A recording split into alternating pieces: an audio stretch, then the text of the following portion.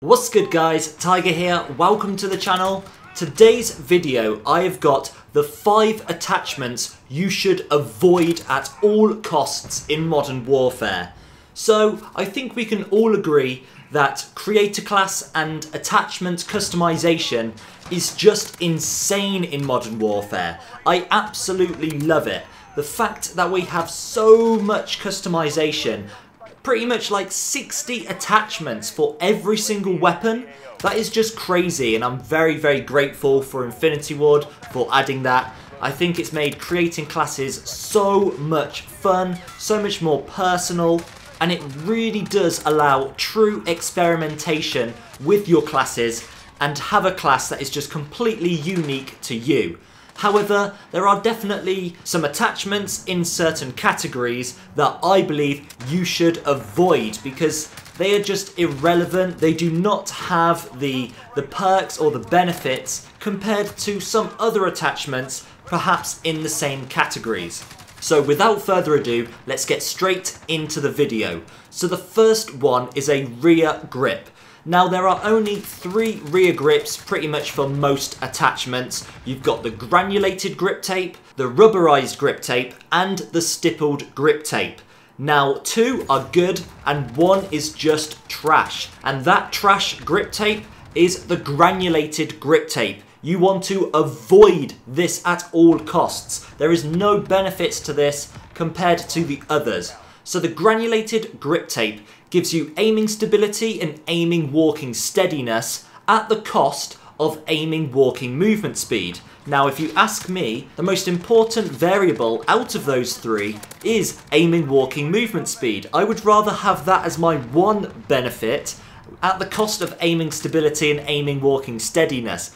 It's just it's just awful. Like aiming stability, I always take the hit on that because it really makes such of a little difference. It barely affects anything. And aiming walking steadiness, most of the time that isn't really going to affect you. Very rarely are you going to be moving about while shooting. And if you do, you might be at close to medium ranges, you might have control of your weapon. And those little subtle differences might not actually make an effect. Now let's compare that to the other two grip tapes that you can choose from. The first up is rubberized grip tape and this is for your weapon that you want more control with. The buff you get is recoil control, a big one, a real big buff that you pretty much go out of your way to look for to make your weapons better. If you've got a weapon that has a lot of vertical recoil, then recoil control is going to help that and reduce that to help you control your weapon better. And it comes at the cost at aiming stability. Like I said, irrelevant. You don't care about aiming stability. It's really not that bad. And for recoil control, hell yeah, let's take that. That is a that is something that I would always go for. If I've got a weapon like a Scar H or a AK-47, that's a weapon that I am definitely going to take the rubberized grip tape for. And then the other grip tape is perhaps even better, a tape that you're probably going to use on 90% of your weapons, and it's the stippled grip tape, and it gives you ADS speed, what is a massive one, especially Modern Warfare, because the ADS speed is pretty slow overall, and a sprint to fire speed buff. Getting a buff to the sprints to fire speed is a real big game changer and you rarely find it. There's not that many attachments where you get the benefit of sprint to fire speed. So that is just amazing. What a grip tape to have. You pretty much want this on every submachine gun, every shotgun if it's available. Even on an LMG, the stippled grip tape might be a better option than the rubberized grip tape. And what is the nerf? Aiming stability. Who cares? This is an easy decision. Very easy. There are only two choices. Rubberized grip tape or the stippled grip tape. You do not want the granulated grip tape if those other two attachments are available. That is a complete avoid attachment. Moving on to number two, and this one is a little controversial, and it is the laser sights. Now, there are three laser sights that you can choose from, and me personally, I only believe in the first one, the 1 milliwatt laser sight, that only gives you one buff and zero nerfs, and it's just improving your hip fire accuracy like we know the laser sight to be. Now the 5 milliwatt laser and the TAC laser, the reason why I pretty much disregard these two sights on pretty much every class, I have used it once on a sniper, and it's because of the nerf. Your laser sight is visible to enemies. And there are so many people using this, and I really don't understand why, because these people are just not understanding at how important that laser sight is. If the enemies can see your laser sight, and you're playing against someone who has a brain, they're going to see that and instantly prepare for it, and then make decisions based on that information. Honestly, if you're pre-aiming a corner and your laser sight is just going to be staring right towards that corner, they're just going to be able to see it. Any half decent player wouldn't run into that situation when they can see the laser sight. They'd probably wait for you to come to them, they might wait until you look in a different direction. Obviously the laser sight only appears when you're aiming down sight, it doesn't appear if you're just hip firing. There are obviously ways where you can try and hide your laser sight, you can lower the laser sight, this is something I do when I'm playing 2v2 gunfight. You might also want to aim it on a surface where the enemy can't see it, if you want to be really smart about it. Obviously, a lot of dumb players won't notice the laser sight or won't react to it in a positive way and just go straight in and allow you to kill them. And those laser sights do have some really cool buffs. The 5 milliwatt laser gives you increased hip fire accuracy compared to the 1 milliwatt laser and a sprint to fire speed buff. What I mentioned earlier is insane. The TAC laser gives you ADS speed aiming walking movement speed, and aiming stability at the cost of a visible laser. So there are some really cool buffs in that. The sprint to fire speed and the ADS speed, they are some good buffs. But honestly, you really need to take into account that visible laser. If you're playing something like Search and Destroy, or if you're just playing 6v6, in fact, even when you're playing Ground War, if an enemy sees that laser, they can just adapt to it. If they see that laser and they have a stun grenade or a flash, they're just going to see it, throw it against the wall, stun you the fuck out, and then just get that easy kill. Now, I don't know how many pro players or YouTubers or pub stompers are using this attachment. They might completely disregard everything I'm saying and might swear by the 5 milliwatt laser or the TAC laser but in my opinion, I would honestly avoid it because the problem with it is you're never going to know exactly how many times the enemy notice your laser and then change their plans and then that prevents you getting that kill. You are never going to have that information. There's a lot of these passive perks and attachments. If you have Ghost on perk 2, something that hides you from the UAVs, this is something that you're never really going to know whether you have been killed by someone who spotted you on the radar instead of just finding you in their path, just seeing you. You're never going to really get that information, and that is why I would always avoid, and that is why I'm always going to try and avoid those situations happening. I want to stay hidden. I don't want the enemies to know that I am pre-aiming a corner or I am running towards them.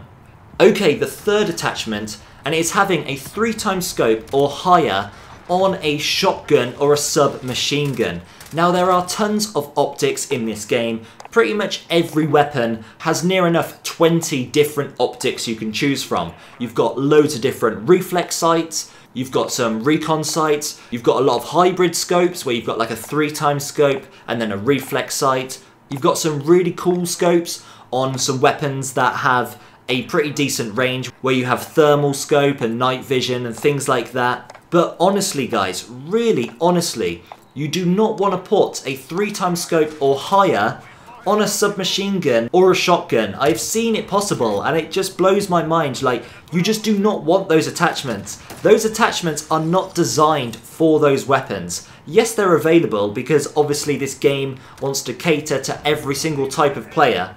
But if you're trying to turn your submachine gun into like an assault rifle or a light machine gun, then why don't you just go for the assault rifle or light machine gun? Your weapon, your submachine gun or shotgun, is designed for those close ranges. I know some of these shotguns have crazy range in this game, especially, especially if you have the slug shot. It will basically turn your shotgun into a sniper.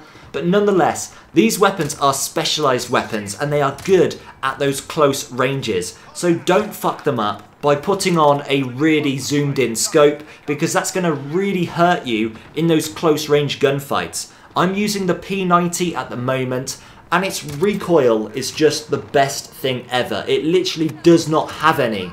Now some people might think, oh it doesn't have much recoil, I will put a decent scope on it like a 2 times or a 3 times. No point, just have the iron sights or a simple reflex sight if you really want and it will be absolutely fine. You can completely map someone with reflex sights, they're really really good. So just don't do it to yourself. Use the reflex sights, use a hybrid scope if you really want to, but try and avoid going for those really zoomed in scopes on weapons that they just don't belong on. Next up, number four, is a muzzle attachment, and it is the flash guard attachment. This attachment gives you muzzle flash concealment at the cost of bullet velocity. Now bullet velocity is something that's pretty decent. It's basically allowing your shots to fire faster, so if you're going for those long range shots, your bullets are going to connect earlier. But the muzzle flash concealment honestly, that is just something I have never had a problem with, and I have never heard anyone complaining about the muzzle flash. And if you're thinking about using this on a assault rifle or a submachine gun, popular weapons like that, it's just crazy. I mean, if we look at some of the other muzzles in this category, I rarely use muzzles anyway, I think barrels are a lot better, and there are lots of other good categories to choose from for your 5 attachments, but if you do want to choose some of the other muzzles, you've got a lot of suppressors that are really good, that's including the monolithic suppressor, what is probably the best. Not only does it suppress your sound, getting you off the compass and other radars, but it increases your damage range, what is awesome. It is at the cost of ADS speed and aiming walking steadiness, but it's really not that bad. And then you've also got the compensator as a muzzle, what helps with your recoil control, what, as I've said before, is just amazing. That's a big, big buff at the cost of ADS speed and aiming stability. So looking at the other muzzles, there are some really good options but the muzzle flash is just dog shit. Like, just avoid that attachment. Muzzle flash really should not be one of your worries or concerns. Okay, and the fifth attachment you should avoid, and it is an underbarrel attachment, and it is pretty much any of the M203 40mm launchers. Now, there are some that I guess are okay. If you just want to use the standard noob tube where it shoots an explosive, that can be alright, but I've been using it in gunfight, and it really does not do that much damage. You also have the incendiary, like fire explosive grenade, what's pretty decent. But then you've got some weird ones, like you've got a you've got a smoke screen or a flash or a stun, and there's just some really just crap, irrelevant underbarrels. Now, if you look at some of the underbarrels you can get, you've got the Commando foregrip, you've got the Ranger foregrip, you've got the Tactical foregrip, you've got some really decent foregrips that will give you recoil control buffs and some really decent buffs that I use often on a lot of weapons. Pretty much every one of my class will have an underbarrel. You also have the bipod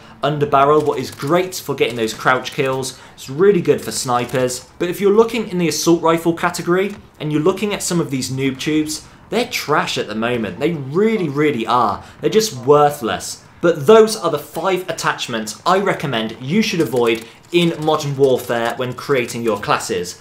Now, I didn't mention any of the perk attachments. There are some really useless ones in the perk attachment category, but there were just so many different ones, and they really do vary on each different type of weapon, so I didn't think it was going to be worth covering in this video. But I hope you got some useful information out of this video. If you did and you want to see more, consider subscribing and turning on notifications to stay updated on all my latest content. But that's all from me. Take care guys and I'll see you in the next video.